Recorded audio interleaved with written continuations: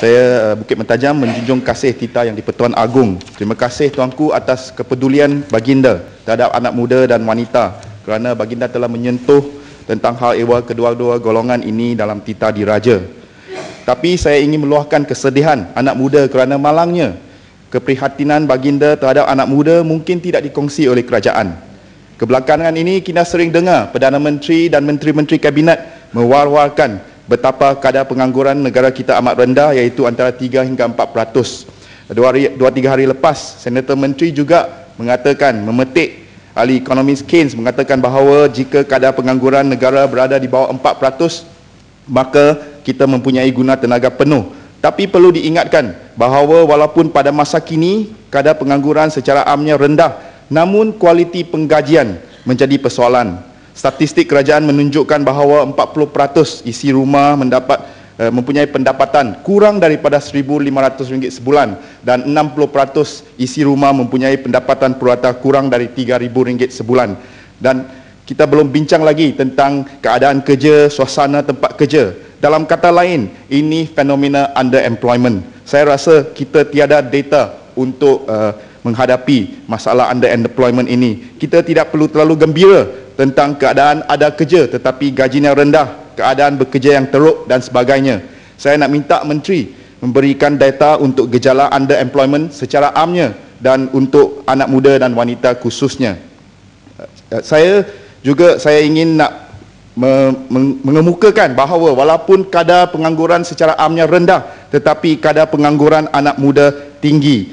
Tuan yang dipetua, kita uh, dapat daripada daripada kajian ataupun satu laporan bersama oleh United Nations dan EPU pada tahun 2010 menunjukkan bahawa kadar pengangguran anak muda berumur daripada 15 hingga 24 tahun ialah 12% manakala kadar pengangguran anak muda 20 hingga 24 tahun ialah 10%. Dalam kata lain, anak muda lepasan sekolah, tak kira sekolah menengah ataupun IPT, tidak mendapat kerja. Jadi jawapan Senator Menteri kepada Bukit Gentang dalam Dewan yang mulai ini 26 Jun juga menunjukkan bahawa seramai 75,800 orang siswazah yang menganggur. Jadi kita ada masalah serius pengangguran anak muda. Saya saya kira ini salah satu faktornya adalah sistem pendidikan dan saya tidak akan uh, membincangkan sistem pendidikan sebab saudara saya Bukit Bendera telah membicarakan kepincangan-kepincangan dalam sistem pendidikan negara kita. Tapi yang pentingnya kerajaan perlu ubah konsep pendidikan. Tak kiralah ayatnya meritokrasi ke, tindakan afirmatif ke, masalahnya jika kerajaan berjaya sumbatkan semua anak muda ke universiti tapi ijazahnya tiada nilai, sifar nilai, tidak dapat bersaing, tidak mendapat kerja, apa gunanya? Tuan yang dipetua. Tuan yang dipetua, seterusnya saya ingin menyentuh sikit tentang hal ewah dan hak wanita. Saya Terlebih dahulu ingin mengucapkan tahniah kepada Ali Batang Lupal yang telah diangkat menjadi Menteri Pembangunan Wanita, Keluarga dan Masyarakat. Tetapi saya juga nak ambil peluang ini untuk mengingatkan beliau bahawa di depan beliau ada banyak kerja. Beliau terpaksa mengejar masa yang telah terbuang semasa pentadbiran tiga mantan menteri yang lalu termasuklah yang amat berhormat Perdana Menteri kita yang telah uh, menjadi Menteri Wanita pada penggal yang lepas saya di sini ingin menggariskan 10 perkara yang saya kira genting. Hmm. Satu. Ringkaskan ya, Mat.